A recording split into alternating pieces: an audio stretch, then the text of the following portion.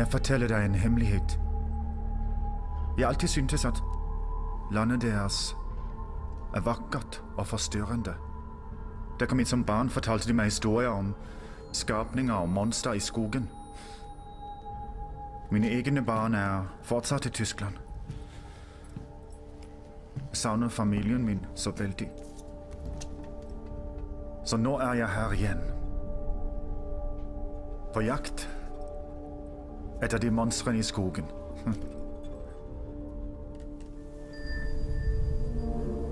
For tre dager siden prøvde en liten britisk kommandotropp å utføre et raid ved hjelp av en tekniker her. Angrepet lyktes ikke. De ble drept, og vi fanget dem. Vi vet at noen er der ute.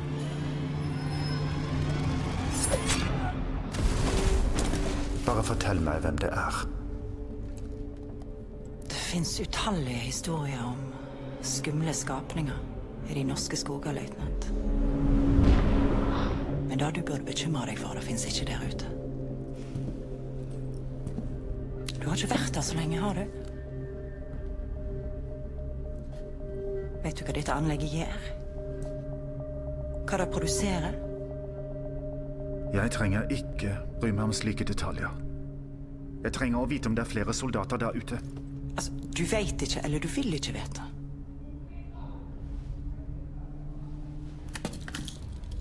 Jeg anbefaler deg å snakke med meg.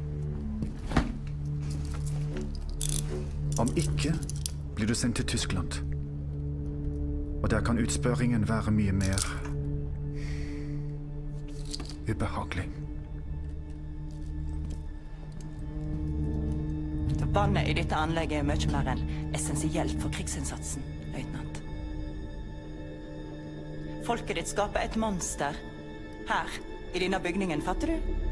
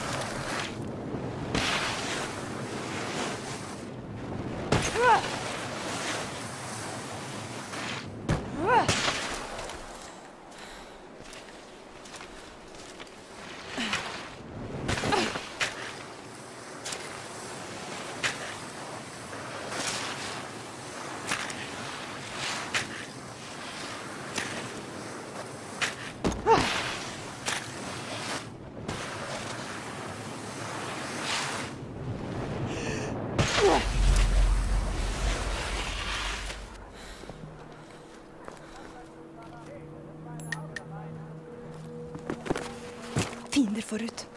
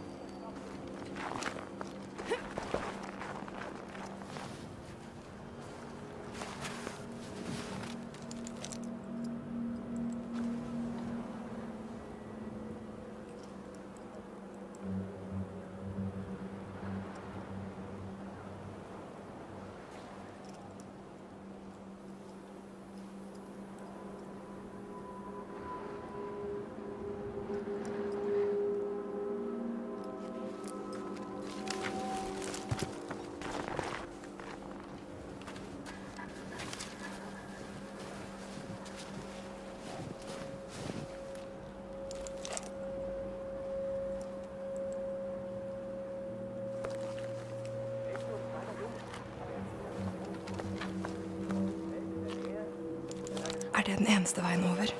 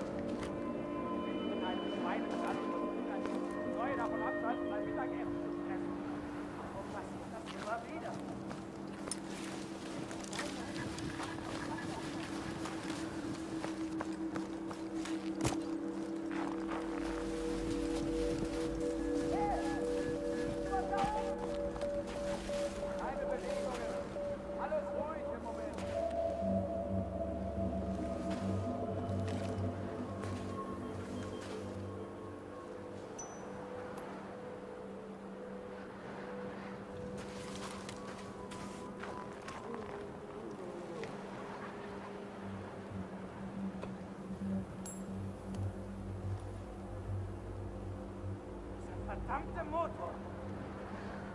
Verdammte Karre. Ständig von Goebbels. Mann. Er ist wohl ein kleiner Junge, aber er zieht an sein Hemd. Plötzlich auf dem Feld in der Nähe. Dies was in den Scheinwerfer? Dann stapft er auf den Boden. Nein, nur zwei Idioten, die ein Auto reparieren. Da sind zwei weitere.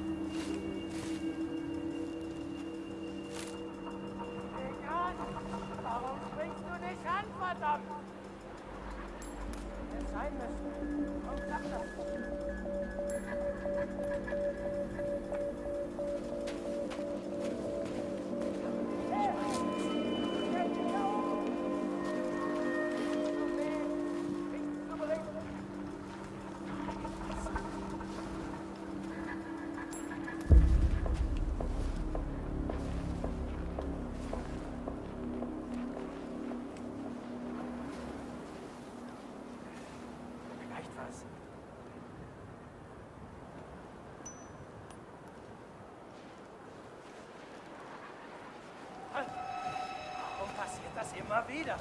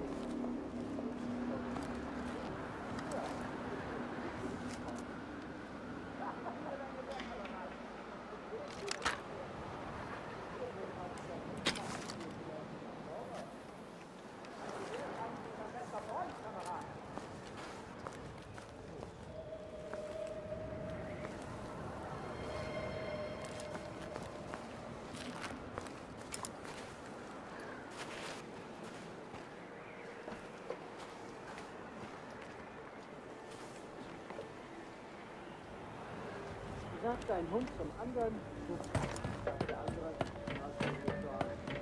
Hilft mir irgendjemand beim Aufstellen? Oder?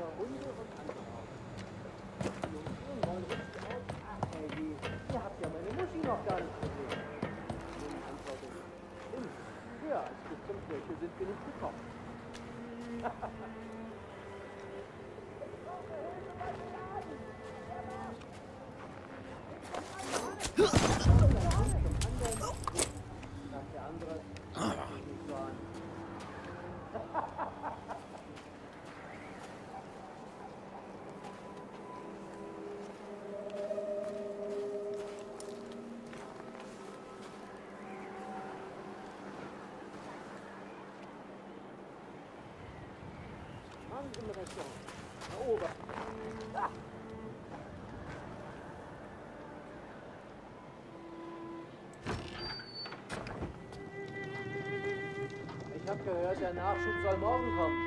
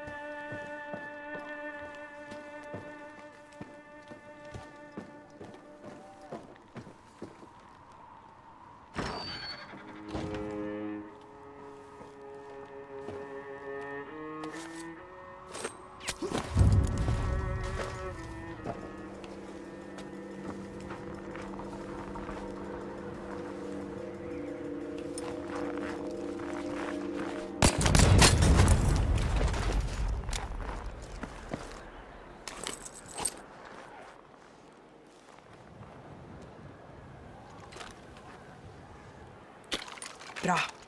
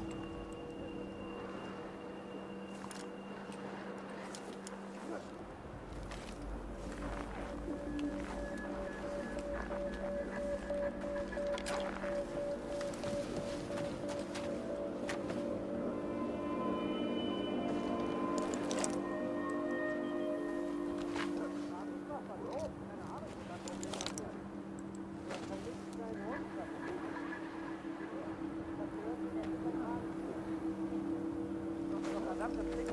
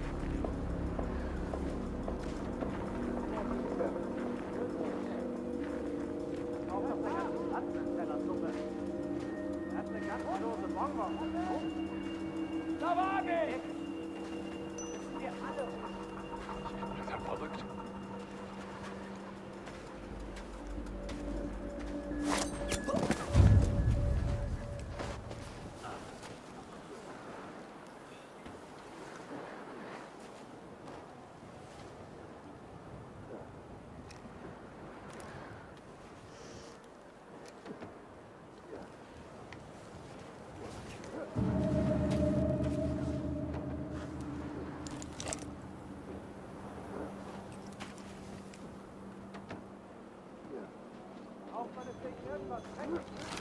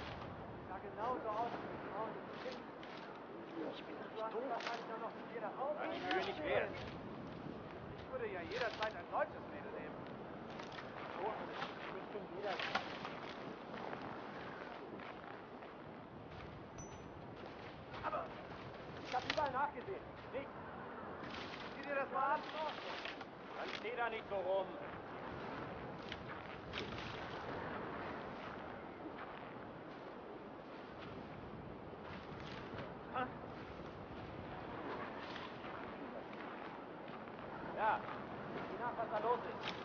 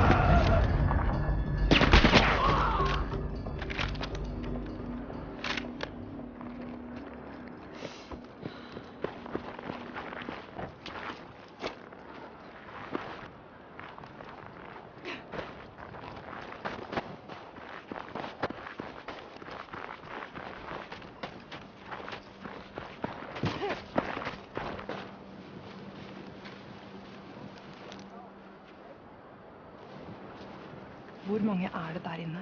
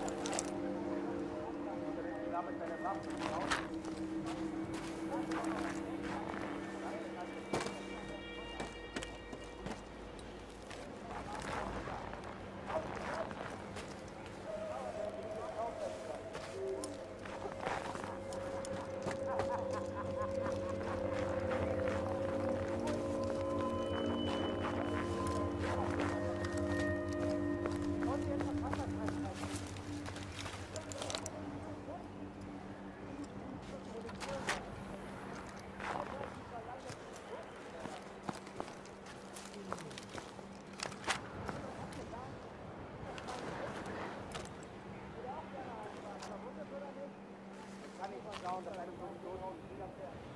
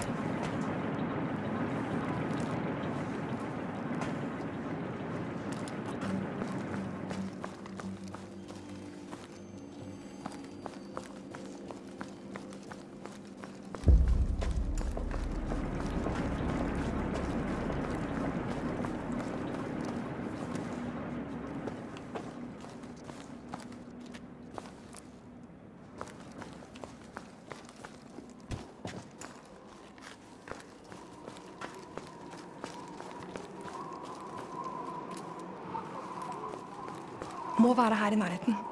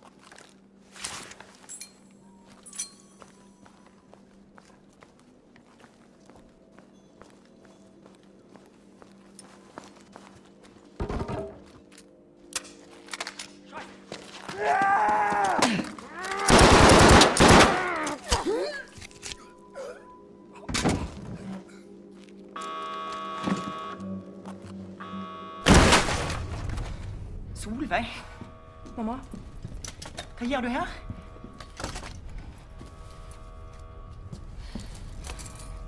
fulgt etter deg. Prøver å redde livet ditt. Ja, det fins viktigere ting. Det syns ikke jeg. Bli med hjem. Solveig! Vi kan ikke dra hjem. Tyskerne bygger noe forferdelig. Vi må finne ut hva det er. Jeg og du, vi er nødt å stoppe det.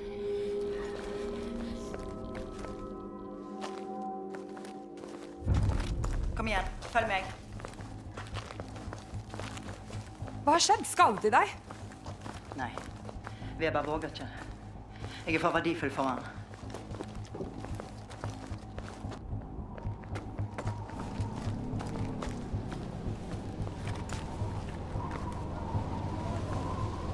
Det kommer flere soldater. Vi må unngå dem. De burde bare dra.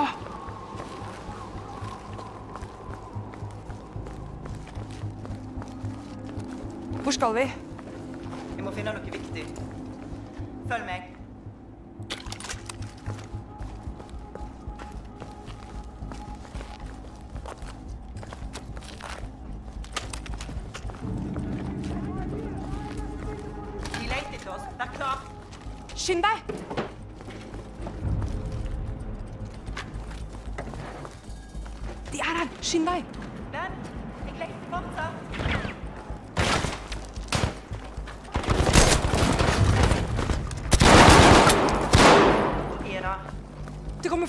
Vi må dra.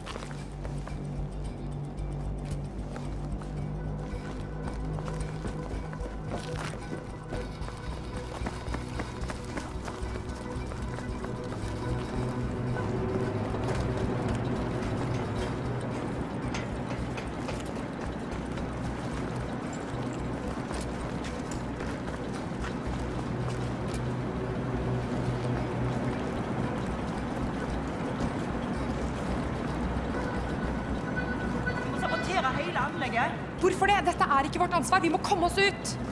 Du skjønner det fortsatt ikke? Vi må stoppe dem fra å produsere mer tungt vann. Jeg tar meg av kontrollene her. Du må gå ut og stoppe sentralen. Hva snakker du om? De store metallboksene utenfor. Ikke kast bort mer tid. Gå!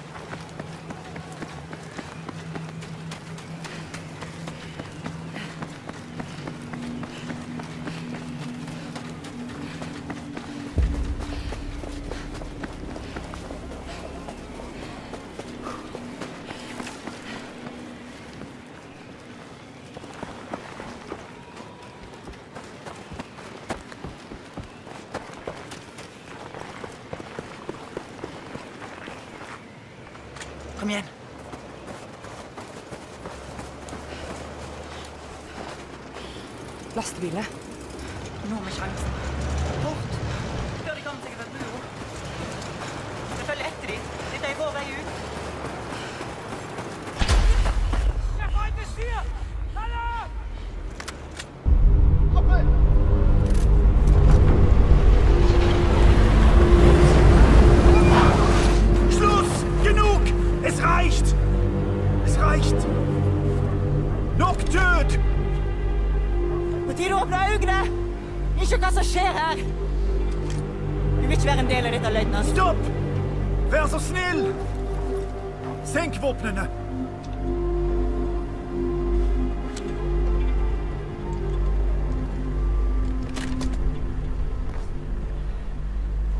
kommandoen!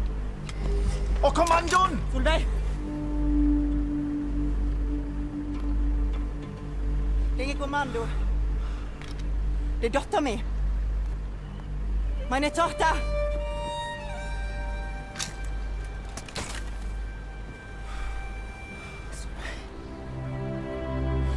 Lastebilene. Ikke en dråpe. Forstår du?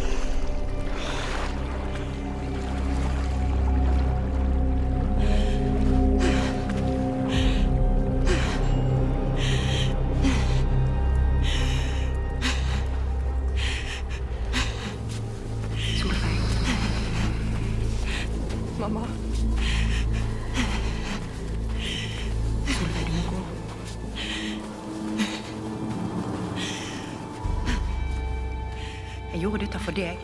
Du må dra. For din sikkerhet. Mamma. Ikke gå.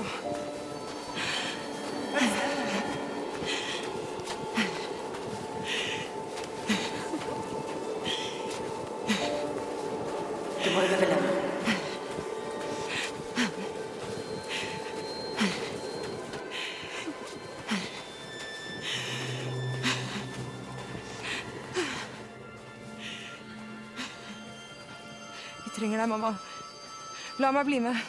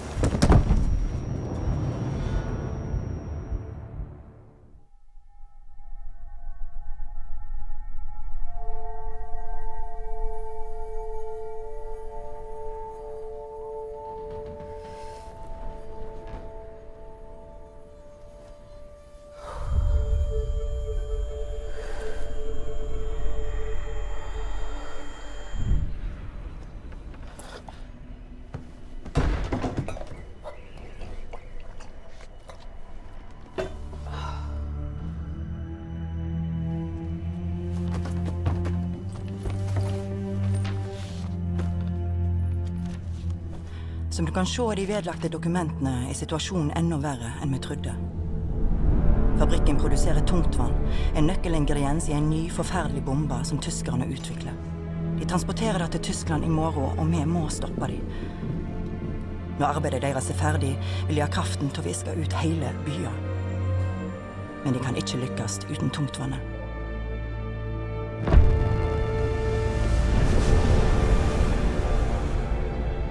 Millioner av liv ligger nå i dine hender. Ta vare på dattera mi, Solveig.